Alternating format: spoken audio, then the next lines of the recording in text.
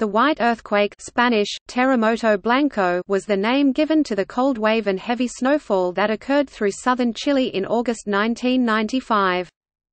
7,176 people were left isolated as a result of the heavy snowfall and three persons died because of it. On August 2, 1995, a cold front entered southern Chile. While at the beginning the cold front seemed normal, it was soon joined by a second cold front that caused temperatures to drop drastically, below minus 14 degrees Celsius 7 degrees Fahrenheit in some areas, and generated large snowfalls.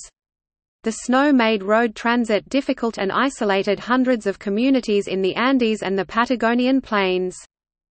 The fodder stored for animals began to run out, and sheep and cows were trapped in meters of snow.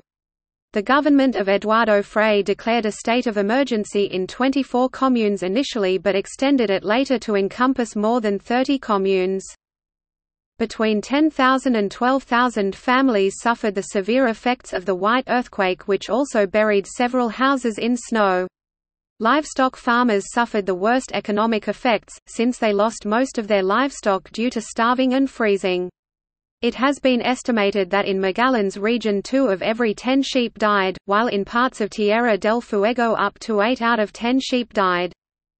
The emerging aquaculture industry of southern Chile also suffered huge losses with the loss of 20,000 trout and 50,000 salmon.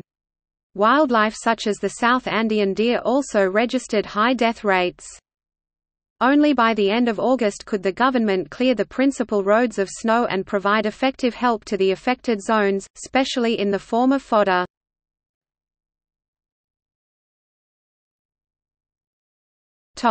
See also